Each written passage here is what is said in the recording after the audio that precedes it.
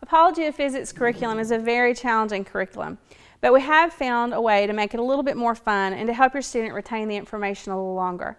We've come up with the Lapbook Journal. This product is over 700 pages. You won't use all the pages. You'll pick and choose which ones you'd like to use, and I'll explain the difference. The very first section is the on your own questions.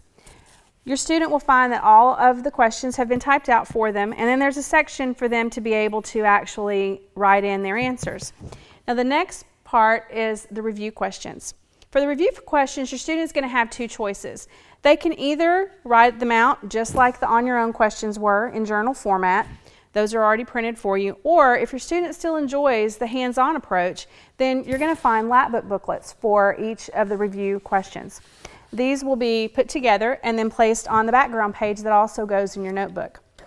So for the review questions, your student has a choice, journal questions or the Lapbook questions. The next section is the practice problems. Those are the also problems that will help to review for the test.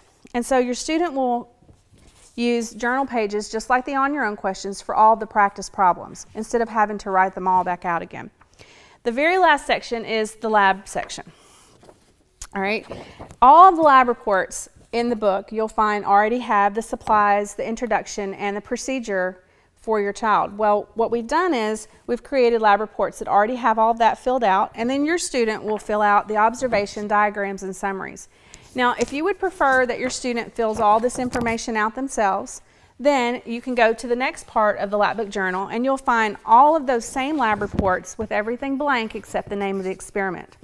So you'll see you have lots of options and you can pick and choose which things work best for you. But I assure you that no matter which section you choose to use, your student will definitely retain the information better.